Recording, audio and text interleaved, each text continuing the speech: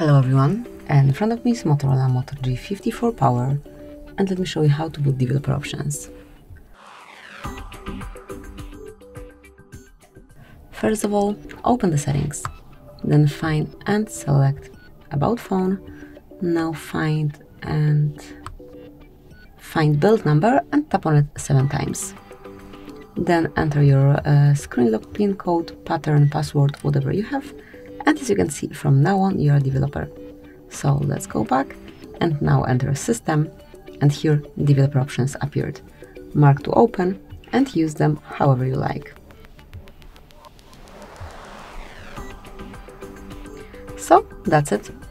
Uh, whenever you want to switch uh, developer panel off, all you have to do is to unmark the stop indicator.